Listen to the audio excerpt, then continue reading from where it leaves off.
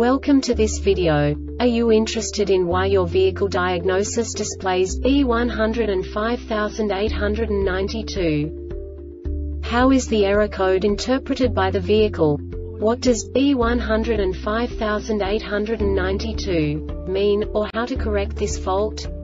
Today we will find answers to these questions together. Let's do this. First, let's look at the history of diagnostic fault code composition according to the OBD2 protocol, which is unified for all automakers since 2000. We divide the electric system of automobile into the four basic units. Powertrain, body, chassis, network. This distribution is defined in the first character code. If the second character is expressed as zero, it is a standardized error. In the case of numbers 1, 2, 3 it is a more prestigious expression of the car-specific error. The third character specifies a subset of errors. The distribution shown is valid only for the standardized DTC code.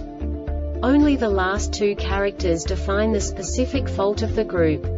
The add-on to the error code serves to specify the status in more detail. For example, a short to the ground.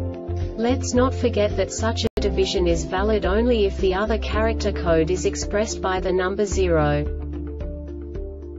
Our website airbagreset.sk produces useful videos for you.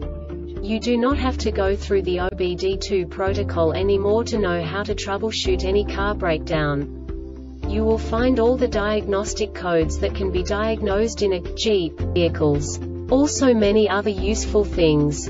The following demonstration will help you look into the world of software for car control units. You unbelievably can move the video a bit further. The error code is split into two bytes consisting of 16 bits. One bit is the basic unit that each computer works with. The bit has two logical states.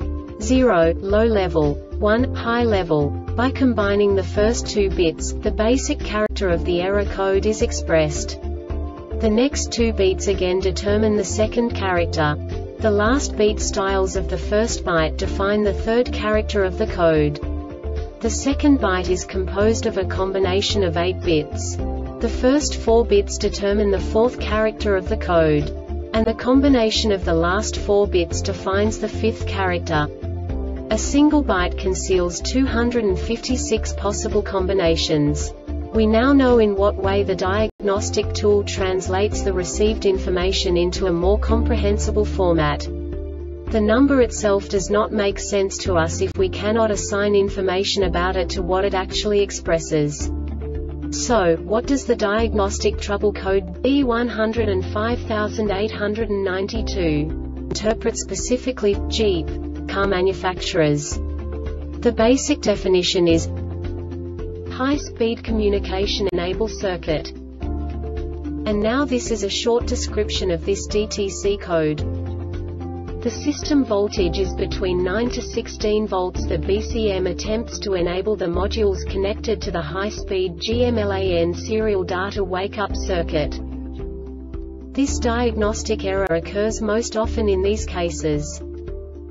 Use the DMM min or max function to capture or locate intermittent conditions short to ground will also set multiple history no communication codes for GMLAN high-speed modules performance or incorrect operation This subtype is used for failures where the control module has detected that the component performance is outside its expected range or operating in an incorrect way.